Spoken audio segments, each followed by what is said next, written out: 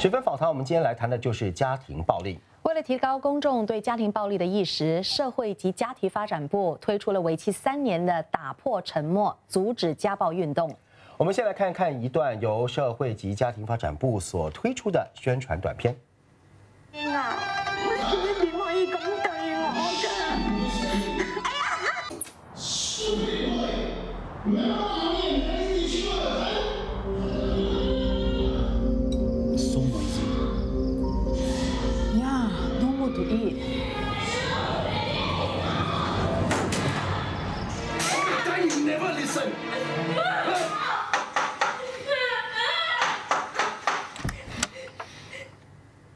如果您怀疑身边的人遭受家暴，你会像片中的阿妈那样选择前去关心吗？你的警觉或许就能够阻止下一个家庭悲剧的发生。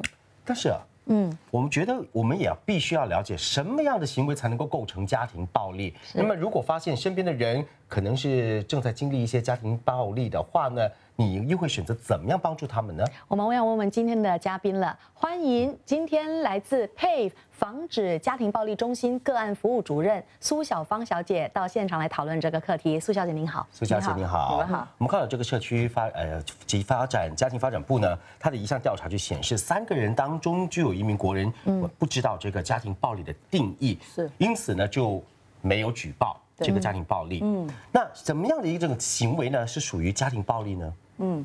其实家庭暴力我们可以分为好几种，其中最普遍为人所知的就是肢体上的暴力，嗯，比如拳打脚踢，比如打巴掌，比如说当他嗯推你啊，结果造成你跌倒，啊，甚至可以严重受伤的。呃，最近我们也常常在我们的个案当中发现很多都是用掐脖子，嗯，啊，使到对方甚至晕过去，哦、非常令人担心的一个情况，嗯，这是肢体上的暴力啊。是家暴有很多种，对。除了刚刚讲到的肉体上、身体上是。的暴力之外呢，还有哪一些？还有精神上的暴力，嗯。嗯，这个往往比较少会有人知道，就是比如说威胁，他可能威胁说要伤害你，威胁说要呃寻死，甚至威胁说要呃同归于尽，或者拿着利器来拿刀啊，最普通常见就是拿刀来威胁，那你觉得说你可能随时有生命的危险，嗯。啊，这个真的是一种精神上的这个虐待，嗯。嗯，另外还有说语言上的这个暴力，比如说不断的辱骂你，哦，使到你觉得好像一文不值，嗯。常常可能甚至半夜被骂、被辱骂，你不能够好好的睡觉，哦，这些都是骚扰性的一些行为，所以心理上、精神上的折磨，表面上你看不到伤痕，但是心里面其实是伤痕累累。对对。是。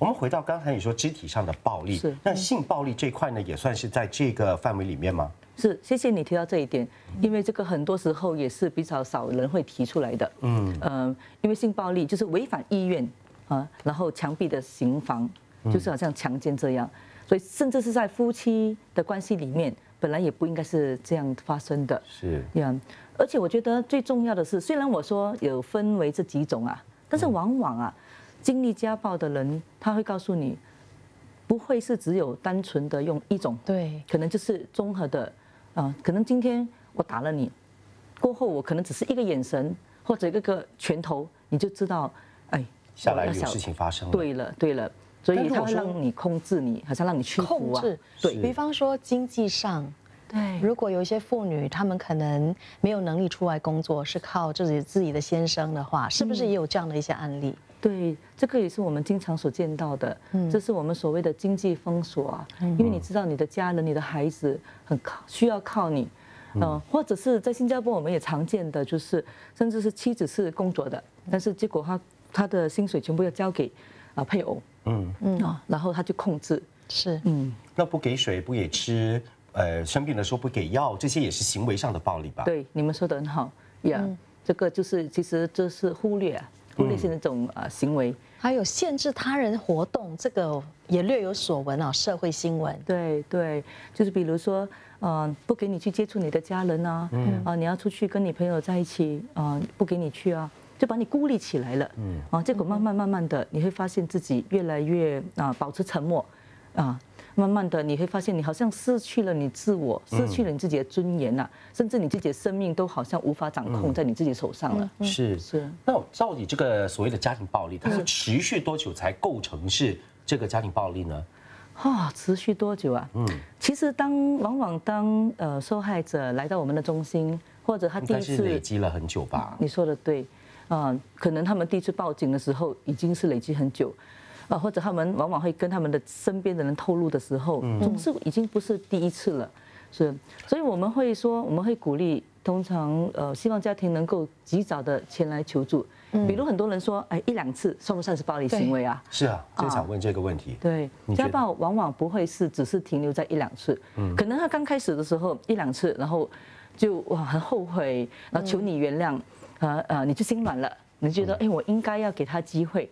可是慢慢的你会发现说一而再再而三，然后就呃变成容许了这个暴力，对了，然后变成好像习惯成自然，嗯，然后就变成变本加厉，甚至你会发现出手越来越狠了，嗯嗯啊，有些时候情严重的情况下，甚至造成很严重的伤害。是，嗯，这些受害者的家属或是旁人朋友的话，嗯，是不是有迹可循呢？有怎么样的蛛丝马迹可以看得出？嗯，是。其实我发现很多人其实很有心的，只是他们有些时候不知道怎么做。呃，一些迹象，比如说，呃，如果肉眼上看得到的，比如你说忽然间你发现他身体上有伤，呃，可能是忽然间眼睛肿啊，淤青啊，淤青啦，红肿啊，甚至他告诉你骨折啊，嗯啊，这是身体上你肉眼可以看得到的。精神上觉察得到吗？精神上的有些时候比较难觉察到，但是如果你细心的话，你可能观察到忽然间本来。呃，对方向来很健谈的，嗯，可能很开朗的，忽然间慢慢你发现他似乎心事重重，嗯，好像沉默寡言，嗯，甚至你发现他哎吃不下，可能睡不好啊，这也是另外一个迹象，嗯，啊就可能要去关心，甚至或或者是啊社交上，你发现这个人似乎最近很少出来这个家庭的聚会，出来了。啊，可能给你很多理由，说我为什么不能够接你电话，为什么不能够出来见面呢？嗯，因为被孤立啊。嗯啊，其实也是另外一种迹象。那工作上呢？工作上啊，有些时候你会发现，可能你的同事突然间无故的缺席啊，呃，好像哎，不像以前这样，好像这么专心，嗯啊，好像总是好像若有所思，嗯啊，其实这些都是一些迹象。有些时候真的只是我们的一句的关心的话，可能就让对方能够打开心房，能够说出他的心事啊。嗯，我们要怎么帮助他们呢？如果嗯，除了一句关心之外，行动上还能怎么关心帮助他们？是非常好的问题哦。嗯，最重要的就是希望他们能够首先，嗯，鼓励他们前来求助啊。